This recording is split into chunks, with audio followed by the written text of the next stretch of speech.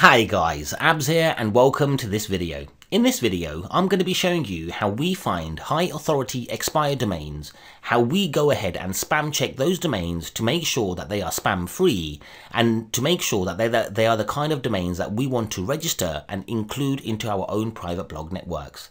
Now, when it comes to spam checking domains, guys, then it's probably one of the most tiresome aspects of finding these expired domains.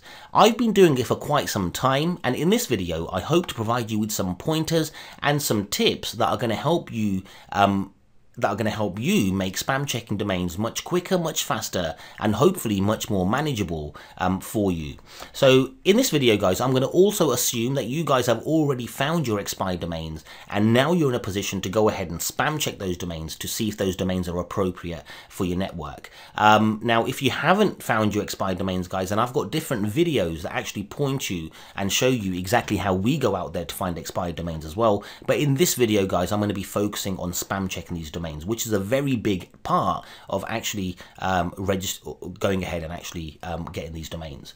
Okay, so in front of me, I've got a list of expired domains, guys. Um, I've got a list of, well, it's a fairly large list of 26,328 domains in total. Now, if I was to go through every single one of these, it's going to be a massive headache. So instead, what we do, guys, is we send we send these we send the domains over to somewhere like Majestic. Um, we then get the metrics, and then we work with the metrics. Now your metrics will actually paint a picture about your website um, without even actually looking at it guys. Well basically it paints the picture of the authority of your website and by the metrics we're going to be able to see the kind of domains that we want to actually go after and once we've found those kind of domains guys we're going to have to go ahead and spam check them to make sure that they haven't been spammed and to make sure that they are going to actually provide us value if we were to register them um, and introduce them and add them into our own private blog networks. So let me just show you exactly exactly what we've got down here. I'm going to show you how I eradicate about 80%, 90% of the domains from the get-go, um, and then how we go ahead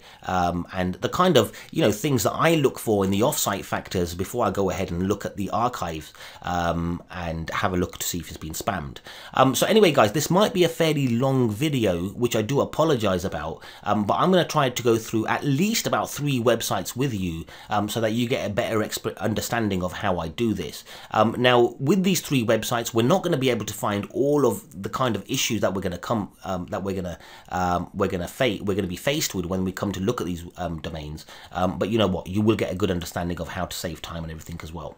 Okay, so the, what I do is I work with um, external backlink counts, I work with referring domains, the trust flow and the citation flow, um, and the trust ratio.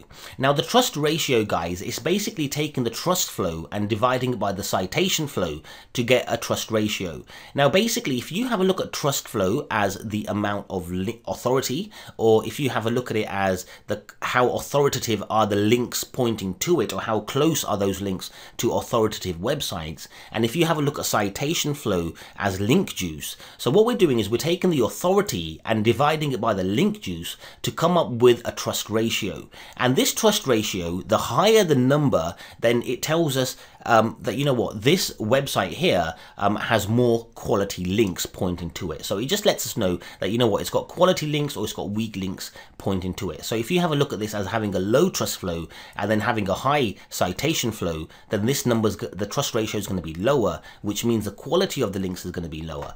Okay, so anyway, what I like to do now, guys, you don't have to use this. You can use this if you want to, guys. Sometimes I know there's some users out there that actually like to sort by highest to lowest and then only go for the trust ratios that are above one or, something like that. But you know what? I don't really pay much attention to that. I just like to have these metrics down here. So when I am doing my manual checks, I can actually refer to them as well.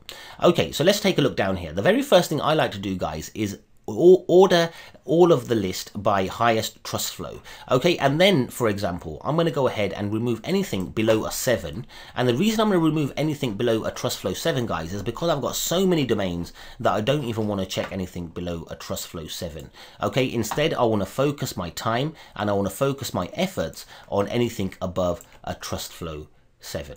Okay, so I've deleted anything below a trust flow 7. Now we're left with 3,345 domains. Okay, but just one thing that I want to point out before we move on from here, guys.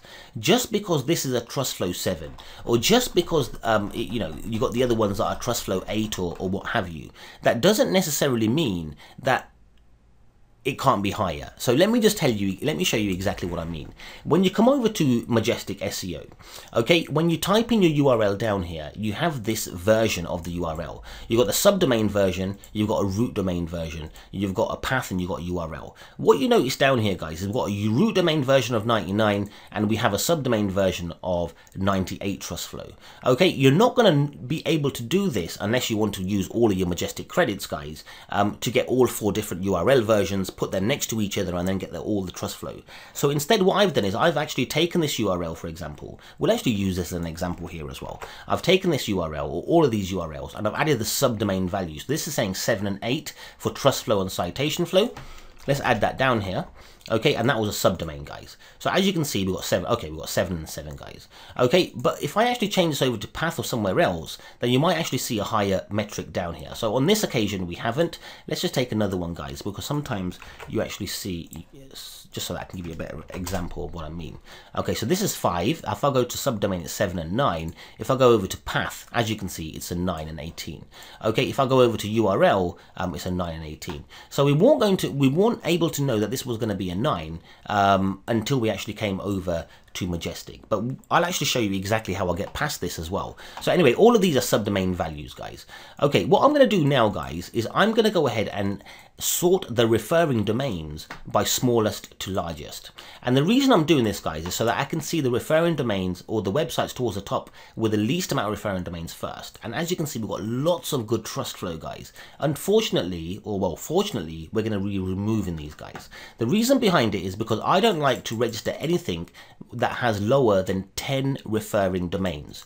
Now, the logic behind this, guys, is let's just say, for example, you had, you know what, let me just remove these and I'll continue my conversation.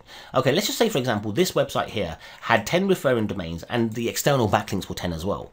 If it was to have one link removed from this, it would mean one tenth of the link juice has been removed.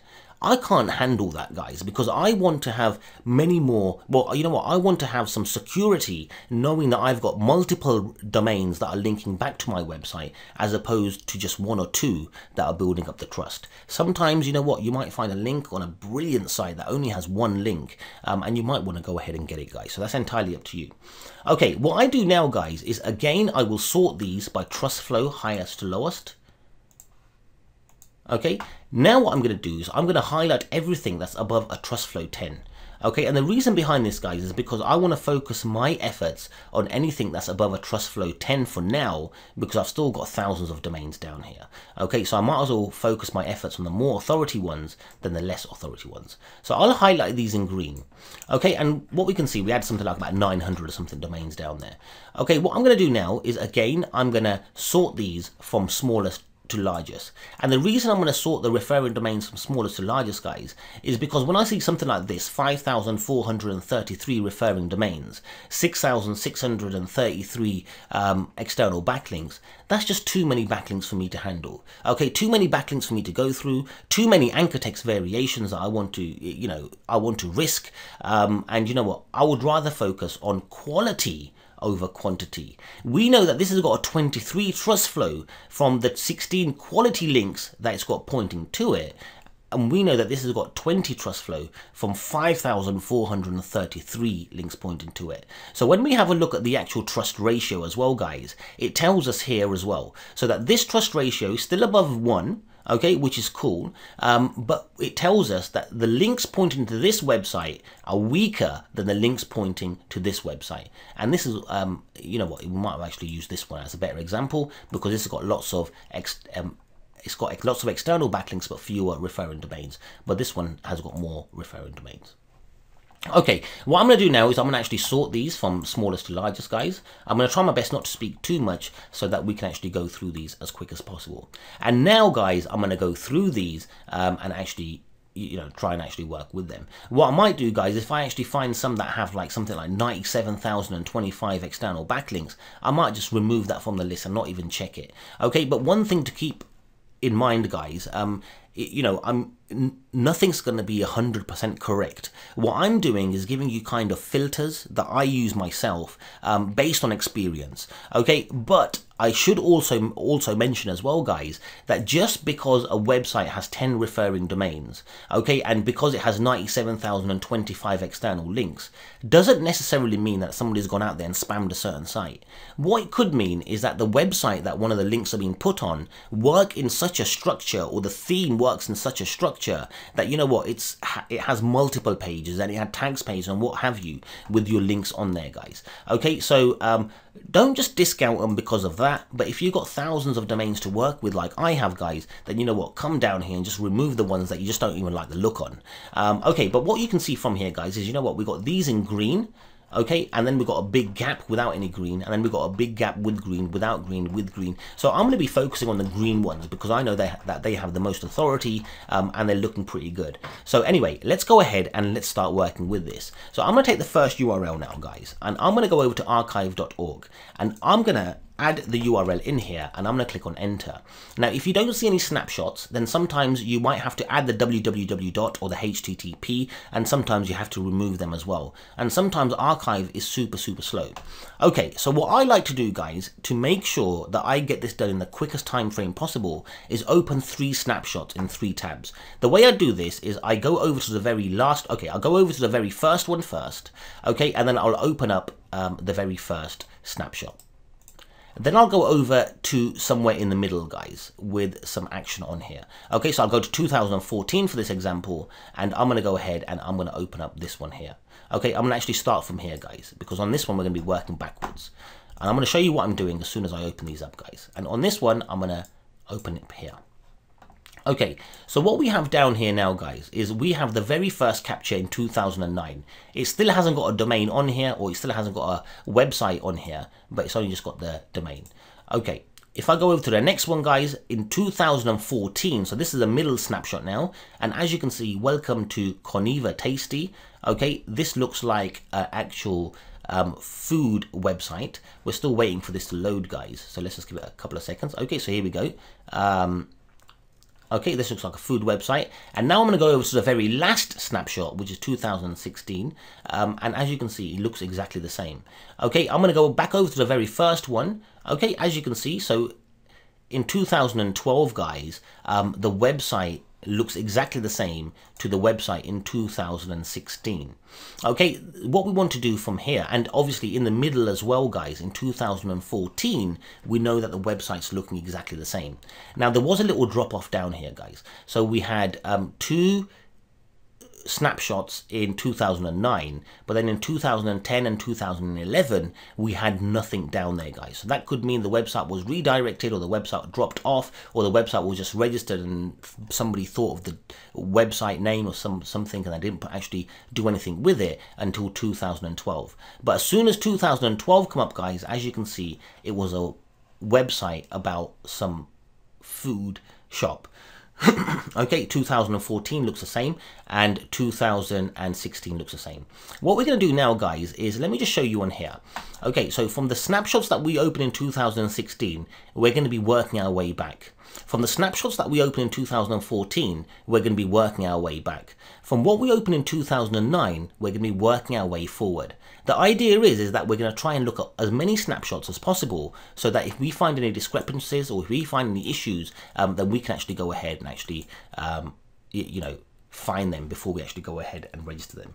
Okay, so this is now in 2013. Looks the same, guys. I'm going to go one more forward. Um, this now is also in 2014 still. I think it's still loading the page, um, but we'll click on the back button again anyway. Um, and this here is 2016, guys. Okay, so everything is looking really good, guys. You've even got some social icons down here. We can look at these, and I can see from the bottom left-hand side, guys, this says Covina Tasty. So this is facebook.com pages Covina Tasty. Covina Tasty is this here as well, guys. So everything's looking really good. What I'm going to do is check these links inside of this website as well. Um, okay, so this here is an internal link. This here is an internal link. This here is a link to the Google Maps, um, and we can actually look at Google Maps as well if you wanted to. Okay, but this is going to show the HTTPS version, guys. Uh, sorry, it's going to show the um, archives version. Hopefully this will show us here. Okay, so there we there we go, guys. We've already been able to see straight away. Look at this, guys. Corvina Tasty is a website. It has an actual location. They're linking out to it from their own website here. We've actually got the address down here as well. All these links here are internal links. It looks good. They have legitimate Facebook and everything groups. Well, I didn't actually look at them, guys, but um, you can actually go ahead and look at it. I'm sure it'll, it'll, it'll work out um, unless it's been closed or what have you. Um, and it looks like a nice restaurant. Okay, it also told us that from the very first snapshot, a proper snapshot, the website looks exactly the same to the very last snapshot as well. We're working our way back, we're working our way forward. We're 2014 there, we're 2013 here, guys. We're just about to see almost all of the history now. Um, so here we go, 2014, guys. We're in 2013 here, and here we go. Um 2013 2016 and everything's looking really really cool. Okay what i would probably do then guys is have a look at some of these pages here. Um, maybe have a look and see if all these check out as well. Okay um, just to make sure that everything is looking good. Now there might be a limit on um, archive guys. If there is a limit um, then you might not be able to open all of these pages at once. Okay but as you can see from here this is the fast food page. Um, and it looks good. Mozzarella sticks onion rings and fish burgers and chill chili bacon avocados. Okay and i'm going to close out this page now. And we have a look down here tasted desserts banana split banana split with another angle um, painting of banana split. So it looks good guys. Um, it looks like a legit site. Um, this is the reviews page i think. No featured in the news. Corvina tasty is in the news so it's telling you about when they were in the news. So this looks like a really good website guys. Um, now they have got links down here down here. Um, but they're get, they're giving links to where they have actually been featured. So, for example, they've got Yelp and um, I don't know whatever that you have down here. So everything's looking really good, guys. What we're going to do now, okay, I just wanted this to go over to 2014, um, but while that's happening, um, what we're going to do is we're going to take this URL and we're going to go over to Majestic. Okay, we're going to paste this inside the Majestic. Okay, and we're going to have a look at the actual website profile. Okay, so as you can see, uh, we've got a subdomain of 30. Uh, oh, sorry, we've got a path of 30 um, and a subdomain of 22. Fantastic stuff. So we only had this down as a 22. It's actually a 30, guys. What I will do from here is the very first thing I'll do is have a look at the anchors. Okay, so I can see from here the anchors look good. Vegetarian, Covina, Corvina Tasty, Tasty website. Um, so it looks really cool guys. Um, and it looks clean. Okay what I can do also is I can actually have a look at the backlinks here as well. Okay from here I can see um, the locations that these um, were were on, the actual trust flow of the actual page, the actual trust flow of the actual domain. Um, so it looks good, guys. We've got backlinks from sources that are linking, that actually have the trust flow on the actual um, page. And we also have real good trust flow on the domain as well, guys. Okay, but what I like to do first is hide deleted backlinks. We don't want to show deleted backlinks, guys. Okay, what you can do here as well is have a look at the top pages as well. Um, by looking at the top pages, it tells you what the top pages are. So for this occasion, guys, on this website, this is really the only top page page on here. Okay, so this website checks out, guys. It looks good. Um, we've gone over, we've had a look at all of the history, um, and everything looks perfect, guys. I'm going to go ahead and register this. Well, I'm not going to register it because we've done this on call. Instead, I'm going to leave it with you guys. If you guys want to go ahead and register it, you can. If you don't, then you don't have to. Uh, just do understand that this has actually gone, um, this is in a video, um, so you might not want to register it. Um, but yeah, I'll leave it to you guys. If you want to register it and sell it, then that's entirely up to you. Okay, so let's go ahead and have a look at the second website. Hopefully I'll be able to do this much quicker, guys, um, without too much explanation. So what I'll do, I'm going to actually remove all of these tabs. I'm to delete them all. I'm going to go over to archive.org and I'm going to paste in my URL.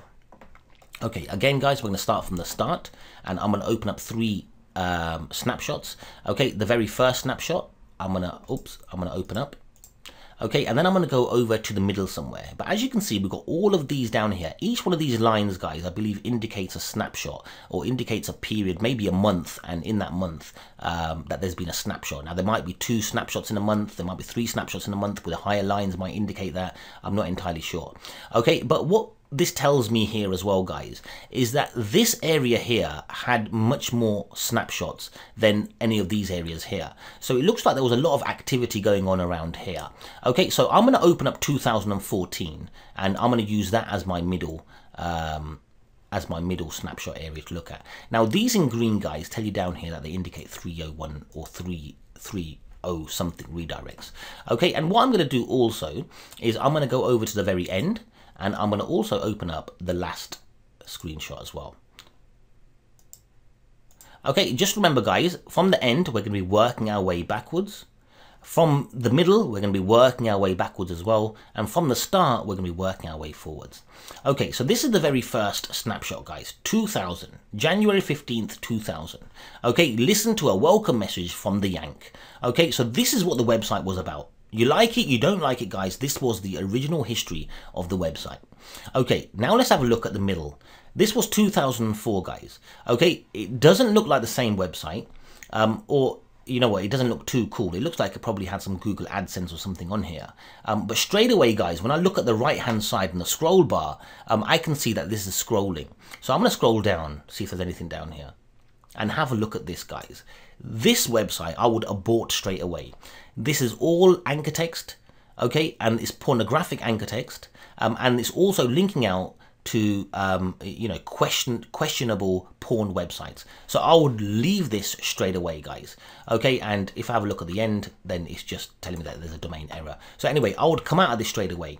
So what this has allowed us to do. Oh, look at this. This is showing us some Chinese text or something down here. Oh, look at this. As you can see, it's been repositioned by someone else. Um, and they've also got the links on here as well, guys.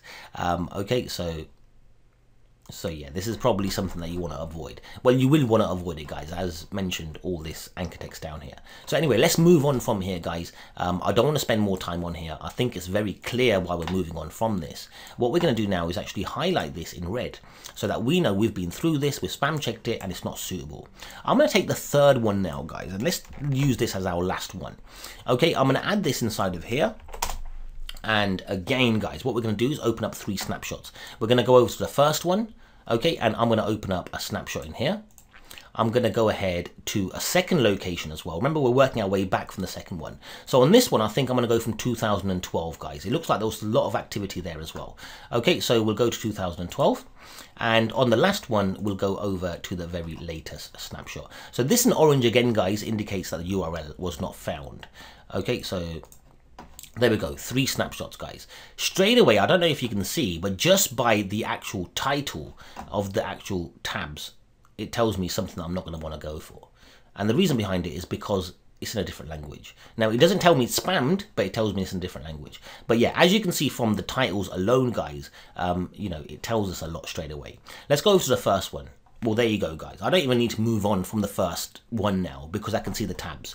Okay, this is here is telling us that it's Licensing Executives Society Poland. The website is called lepoland.org. Okay, it makes sense to me. This is what the website's about.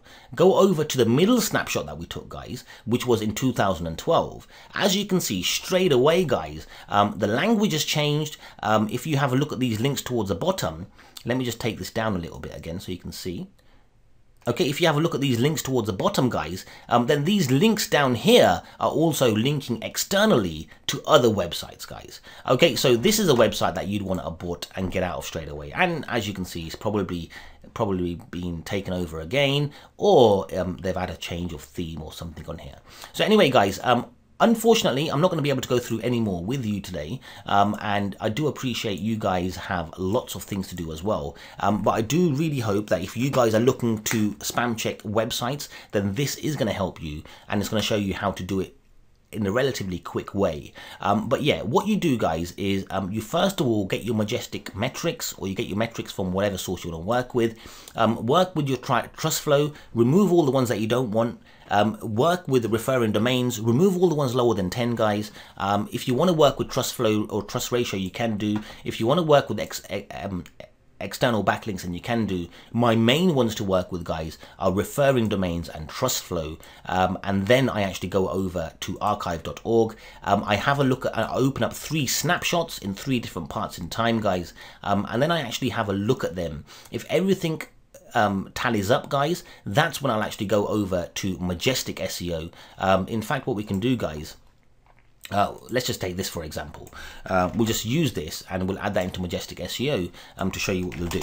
So let's just say, for example, you've gone over, you've done your spam checking and everything down here, guys. Um, you found this website and you said, yeah, it looks really cool in archive.org. You'll go over now to Majestic, you'll have a look at the anchor text. You'll see if the anchor text looks good um, to see if it um, works with this. Um, and if it does, guys, um, you can actually go ahead and have a look at the backlinks as well. You can look at the backlinks individually, hide the ones that are deleted, guys, because they're not going to be any good to you. Um, and then you're going to be able to see where they're being added to. You're going to be able to see the actual trust flow of the page that they're being added to. So as you can see down here, this has got some quality links on there. You're going to be able to see the trust flow of the actual domain that they're being added to. Got some quality ones on there. And as you can see, guys, you can actually see where it's being linked to as well. So this one is being linked to um, an internal page in the website.